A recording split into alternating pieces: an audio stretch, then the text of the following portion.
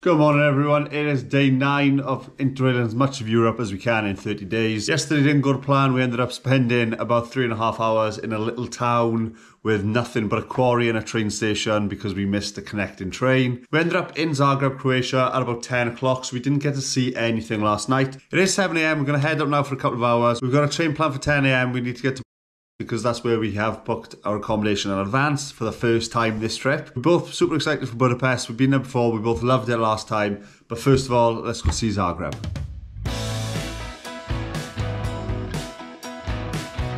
Well, there's definitely enough to see in Zagreb anyway. This is the main cathedral, Larnaca in Croatia. Tick.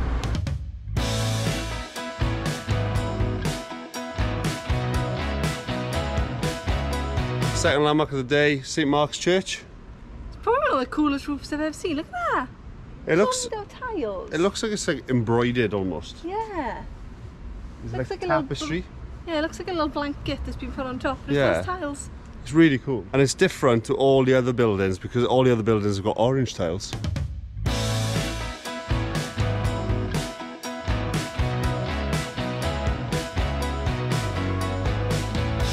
I don't know if you can see, but the funicular is just behind me, and apparently it's the shortest funicular in the world. It is literally only from there to here. Not gonna lie, from what we've seen from Zagreb so far, we're not overly impressed. We have been to Croatia before when we visited Dubrovnik, and it's absolutely stunning down there. Yeah, I don't know. I, I, I expected more, but I'm not gonna complain too much because we're gonna move on. We are. Zagreb's almost split into two towns. You've got the lower town and the upper town. We're currently in the upper town. This is the viewpoint for the lower town. But we're going to head down to the lower town. We're going to take a long walk along the street. There's a big square supposed to be down there, so we're going down there.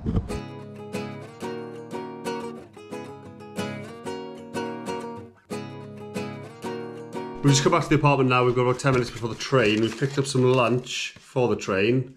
Got some potato balls and six massive chicken breasts. I think it's time for the game plan. Step number one, we're going to head to the train station. There's a direct train leaving in one hour.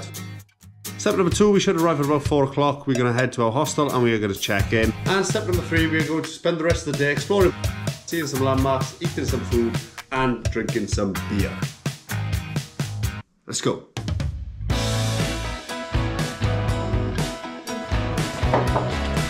Gonna need this.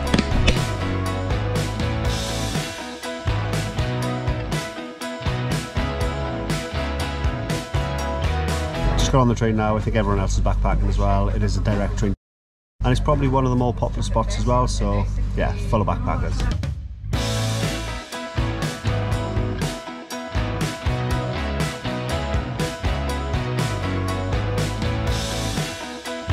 We've just arrived in Budapest. We're so excited to be here. We've been here before. We loved it. For you guys, that train journey was only about 10 seconds. For us, it was six and a half sweaty, warm hours. There was no aircon, there was no air, it was full. But we made it, we're happy to be here. We're gonna head to our hostel and check in first, and then we will give you the game plan.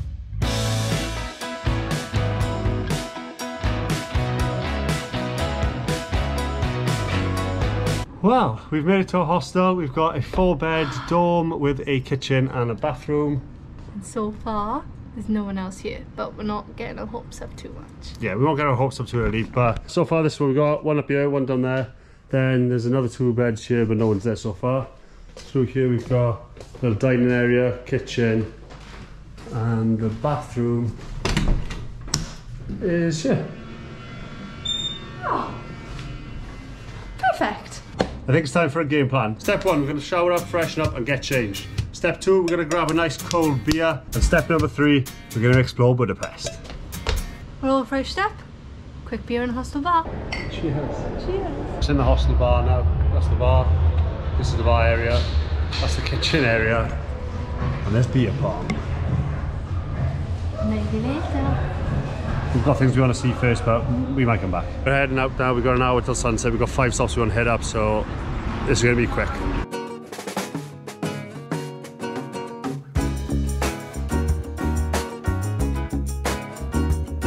This is St. Stephen's Basilica. You can go up to the top and there's a good view. We have been up there before. You can't go up there now because the time is closed. If you are you, go up. It's really good view up there. So we highly recommend, but we can't go up now. So on to the next point.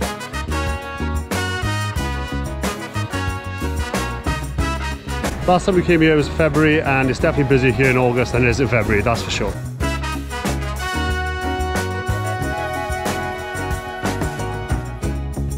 The sun is setting in the distance, look how nice that is. And a tram is going to pass now.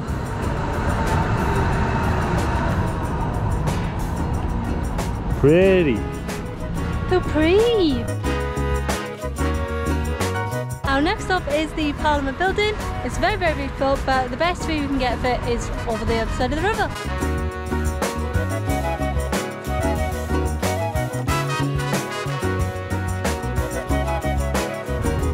Quick free metro ride across. Didn't mean to be free, we couldn't see the machines we got on anyway, there was no one there. Oh, But cool we told you it was pretty uh. Pretty cool upside down too. Okay, next stop.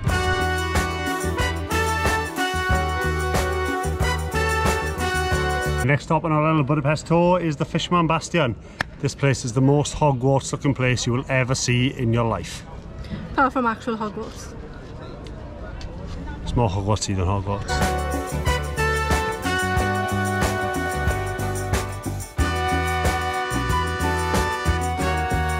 There's quite a lot of people up here considering what time it is, but you can see why, because the pictures you can get up here are absolutely incredible. Literally the most amazing view you can see over Budapest and it's free.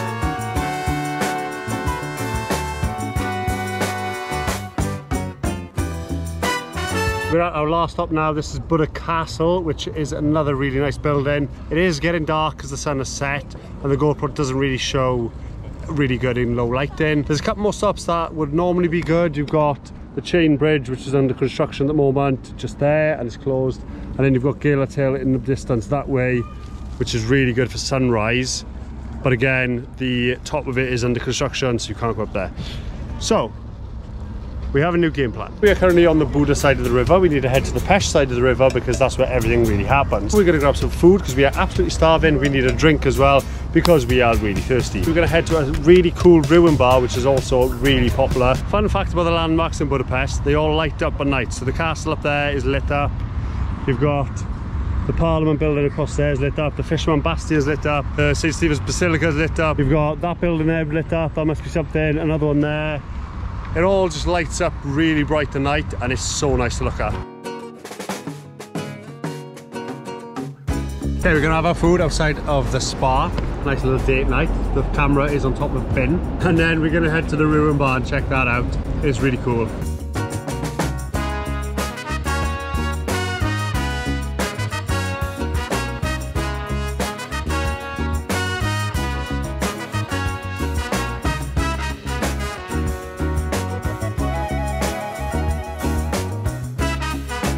Starting to get pretty busy in there. It's 10 to 10 now. When we got there, it was not that busy. And it's also got this cool street food place right next to it. That's definitely worth checking out. Back at the hostel. Okay, we left the hostel. We've come to the pool bar that we were at three years ago. Mm-hmm. It's really cool. There's like eight pool tables all the way down.